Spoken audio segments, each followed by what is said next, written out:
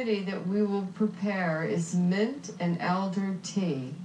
This is a very old and very popular European recipe. We gather the mint, we want to gather it in early summer before it flowers.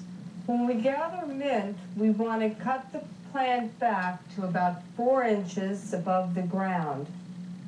Then we'll garble each stem, which means we'll remove the leaves and make sure that you discard any leaves that are discolored. Mint is diaphoretic, which means that it induces sweating. It is also carminative, which means it helps us to expel gas. Mint is used to break fevers, and it has been found to be antiseptic.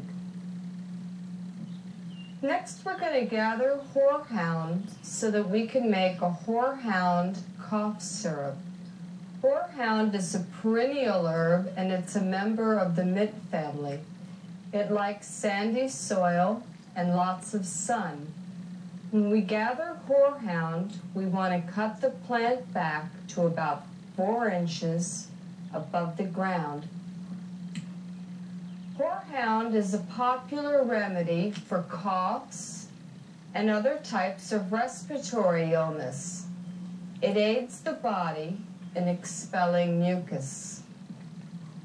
You will also want to garble the horehound, which means you will strip the leaves off the stem and discard any parts of the plant that are discolored. Now we'll get tarragon in order to make an herbal wine vinegar. French tarragon is preferred over Russian tarragon